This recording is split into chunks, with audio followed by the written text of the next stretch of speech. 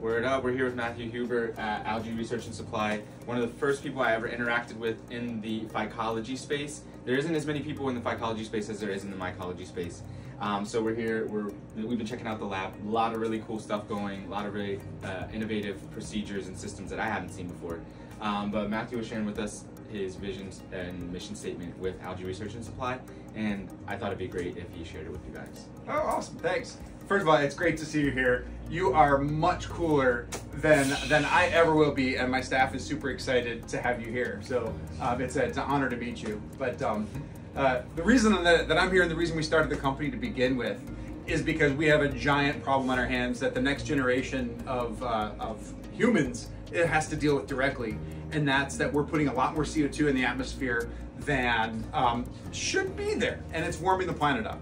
So um, I know a lot about algae, and one of the really amazing things about algae is it fixes a lot of CO2 from the atmosphere and from seawater. So um, what I'm trying to do with the company is very focused. I want to give what I know about photosynthesis in microalgae because of its amazing ability to remove CO2 um, from the biosphere. Um, and I want to put that in the hands of our next generation. Why? Because this is a tool, maybe not the old, maybe not the best tool, maybe not the only tool, but it's a tool that they can wield absolutely to remove CO2 from the atmosphere. So that's why we're here. We want the next generation of scientists and engineers. We got to have engineers as well. Um, to, to be able to use algae as a tool to remove CO2 from the atmosphere. That's why we're here. So that's why I exist. Incredible. And I found Matthew while I was studying permaculture. So, as he says, it's a tool. It may not be like the thing. Um, just as I think a lot of people say mushrooms are going to save the world. I don't think that it's just mushrooms. I don't think it's just algae. I think in bringing all these things together and mimicking the way that nature creates these dynamic ecosystems, uh, we can add our unique human twist and bring this to the next level. So, thank you. Yeah. Yeah. Houston, the Salt Lake is going down because of how much urbanization is happening around there. Yeah. I, w- I wonder about like efficacy for breeding. to keep up with industry, you need a you need a giant puddle. But a good friend of mine is the uh, is the Lorax for the Great Salt Lake. Her name is Jamie. I'm not wearing just the shorts.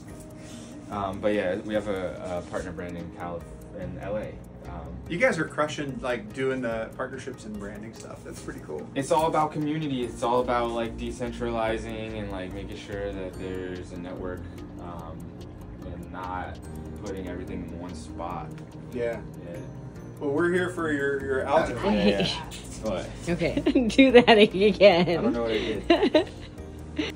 Are you looking at doing the Hematococcus thing? Yes, yes. I've been really wanting to emphasize that a little bit more. I have a culture that I pulled out of a bird bath in my friend of mine's uh, Was it? Did it have grazers in grandma's it house. though? Have grazers. Grazers. Grazers Oh, will mess it up. What, like little rotifers and things like that? Yeah, yeah, they'll eat the Hematococcus. Oh no no. Um, I was able to isolate it. We it. have a red one and a green one. Oh, I would like to Same hold both of them. but- Yes. Um, I was able to isolate it after I took the Bigelow class. Nice. Yeah. Oh, good for you. So Nice. good. Th- that was a that was like superpowers. Should the Yeah, label so just turn the label the backwards? Oh, yeah, yeah, there yeah. you go. There we go. But yeah, that was uh, that was like superpowers. Honestly. Yeah. Yeah, they showed me how to like isolate pure culture from sea concentrated seawater. No, stick in their nose and it just smell really deep. Yeah, it definitely smells oystery. It smells like low tide. Yeah, that's like my favorite smell. Yeah. It turns out there's this there's this fella named Lovejoy, and the the the, the stuff that comes off there is a um, it's a sulfur compound. So uh, those those sulfur compounds, they are the things that help to um, form clouds. Mhm. So Whoa. this and Cloud seeders. oh, can you grab the um the Cloud uh, seeding Amelia One So- of the one of the students that was in the class with me, that was their like specialty was like cloud seeding algae or something like this. Yeah, yeah. Yeah. So, so this is the same stuff. So basically, what this and this one is, this is one. It's, it's a coccolithophore called Emiliania huxleyi, um, which we actually got from Bigelow. Okay, okay. Um, and and this one, uh, you can see it's white compared to the green. This is going to absorb a lot of photons Mhm. and warm the water up. Yeah. This one's going to reflect a lot of light and warm and warm the water up less. Mhm. And this one also That's like a It's a chalk, a chalk producing.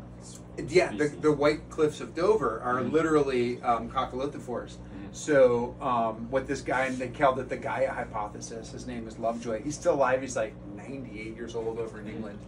Um, but basically, having big blooms of this, it's a it's a, a feedback loop, which it'll cause the albedo of the Earth to change a little bit and clouds to form, which will reflect light back off. So the warmer we get, the more this will grow, and that's like it's like one of the things that, and this is a big picture project that I'm working on to get this at scales of the Pacific Ocean Yeah. or the Arctic Ocean.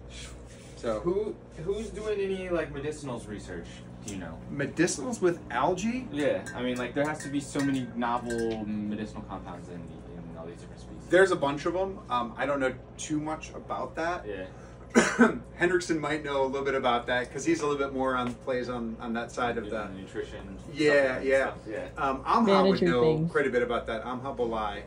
That's, Um, that's where I that's where my interest lies because like I want to do a lot of supplement formulation. Oh, yeah, like yeah. yeah, and like honestly, I mean that's probably what we're, we'll talk about later, but like I Yeah. there's a lot of potential there, and especially if you're gonna be doing QC stuff, that opens up a lot more avenues into doing consumables.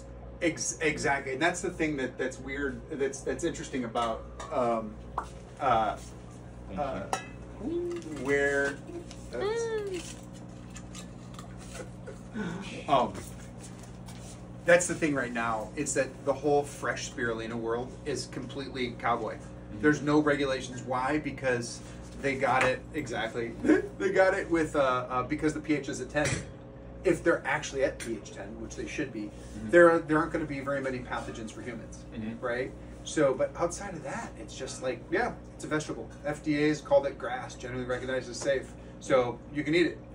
And but there's still there's so much more that you get in trouble for. Putting having having something that you make going into somebody that just Yeah. it just makes me Yeah, there needs to be yeah. levels of. Uh, I mean, that, and that that also opens up an opportunity for a new industry, um, especially if more people are going to be doing this with regional uh, quality control laboratories. You know, Yep. yeah, that's that's a whole job. That is. Mhm. and we're, we're we're looking into that right now because that's a safer place for us. Mhm. You know, we're uh, I, yeah, it, it being being I'll, I like taking risks, but I like being safe too. Yeah, so having a no, lab I'm thing, Very understandable. yeah, yeah. So, uh, Hey, look at them little guys in there. Yeah, these are little brine shrimp here. So we're putting together a kit and trying to figure out um, a good way to use this is to demonstrate microplastic toxicity. Mhm. So right now we've been using so many um, plastics, and they're eventually everything's going to go down into the oceans as it breaks down and gets and turns into little bits of plastic.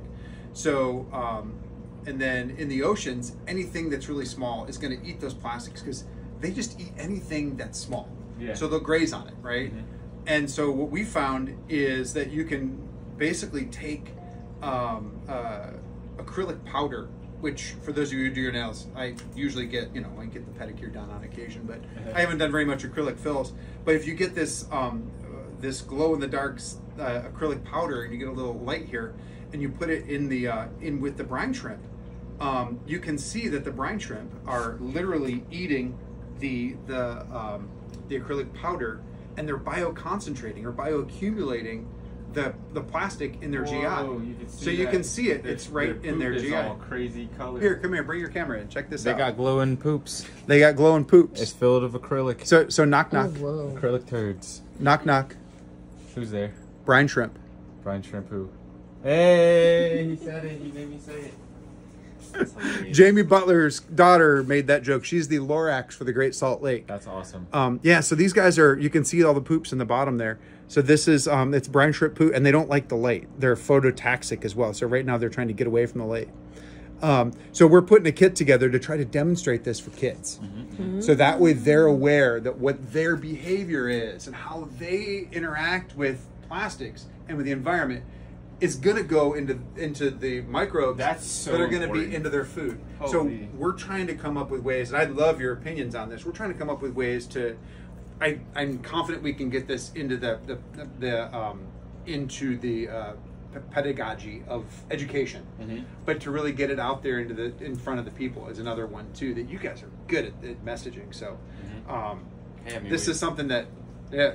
This is something that that, uh, uh, that I'm pretty passionate about, and I know that it's going to not only be really good for the environment to have kids see this Oh, yeah. firsthand, but also we can make money on it, which is important too. Yeah.